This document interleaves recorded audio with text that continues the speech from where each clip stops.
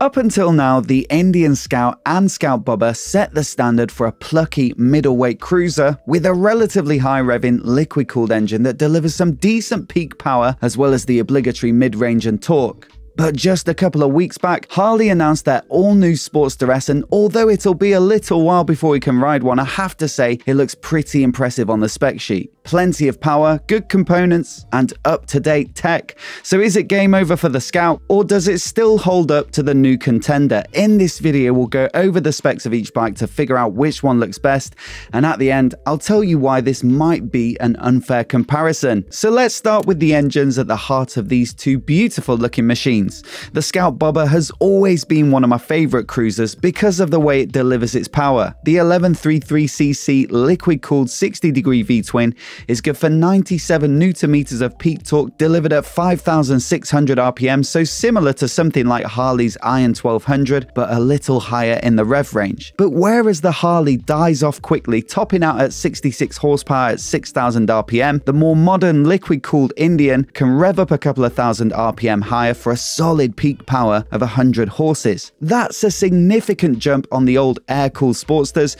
which certainly sets the Scout apart. It's the sort of cruiser that you could jump over to if you're used to a sporty naked bike, for example, and you wouldn't get bored with the lack of top end. And I'd also say it sounds pretty nice if you get the right pipes on it.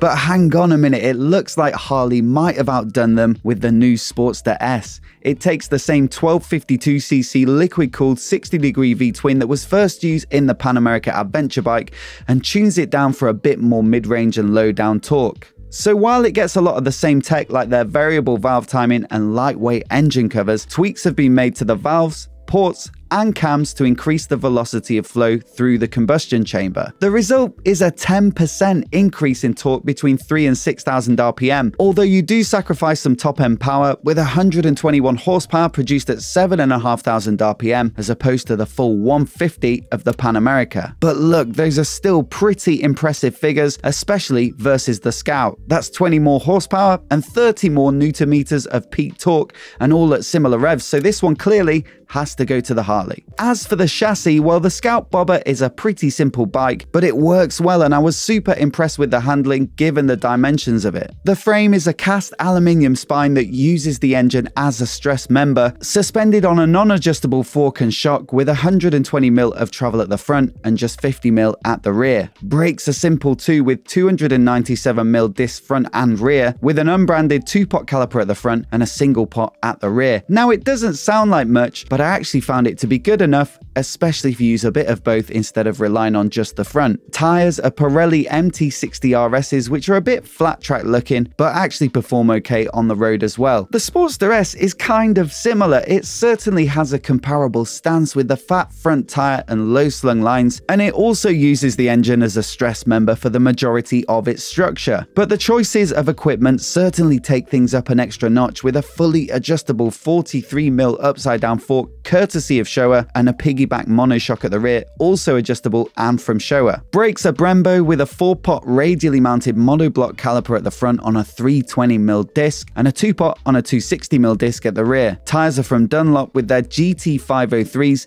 appearing to have more of a road bias than the Indian's Pirellis. Now I'll have to reserve full judgment until I get to ride one, but on paper that Harley looks good. Now travel is similarly limited to the Scout, but the adjustability in the suspension allows the rider to dial in their own preference to suit their riding style and weight. Generally, you'd expect a 4-pot radial Brembo to be a little more powerful than a 2-pot brake, and the tyre choice looks good too. But also, Harley have focused on keeping the Sportster S light, with a claim weight of 228 kilograms in running order, which is a good 23 kilos lighter than the Scout Bobber. So again, I think this one has to go to the Harley. Onto the tech, and let's start with a list of features on the Indian.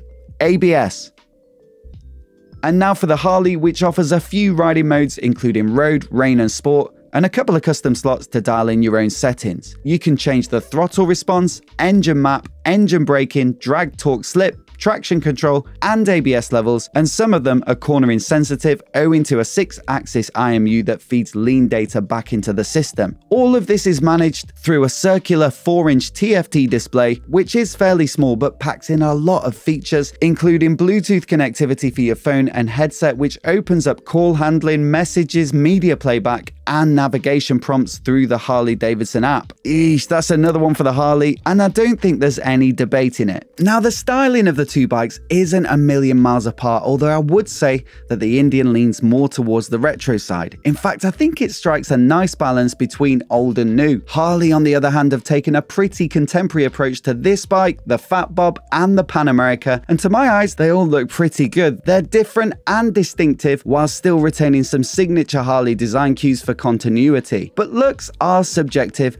and so I'll have to call this one a draw, but you can let me know which one you prefer down in the comments below. One of the biggest factors for many buyers is the price, and this is a category in which the Indian can claw back a point. It starts at £12,295 in the UK, and it's a snip in the US at just $10,999, so that's a decent price if you're just looking for a stylish set of wheels with a lively engine, all in a package which is stripped back and doesn't distract from the riding experience. Now the Harley though, it starts at £13,995 in the UK so just over 1500 quid more. But in the US, it's $14,999, so that's 4 grand more. So in the UK, that's almost a no-brainer for all that extra performance, equipment and spec. But in the US, that's a price gap that could well put the Sportster S out of budget. And here's why it's maybe a bit of an unfair comparison. You see, there's been quite a few leaked shots of the non-S version of the Sportster which will be dialed back a bit in spec and take more styling cues from the existing Harley Sportster lineup. We're talking right way up forks, twin shocks at the rear, and a bit more bodywork and polished finish. This bike almost certainly will be priced closer to the Scout Bobber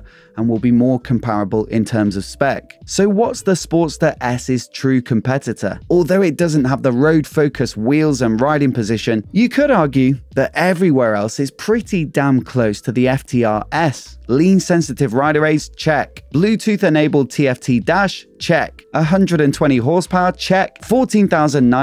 $14,999 exactly? Check. They're really pretty close. Only the Harley does it in a way that's more familiar to their core customer base. I personally can't wait to take one out for a spin, and I'll hook that up as soon as I can, as well as a head to head on the road with the FTR. But in the meantime, let me know your pick down in the comments below. And if you're new here and you want to see more videos like this, hit subscribe, and I'll see you then.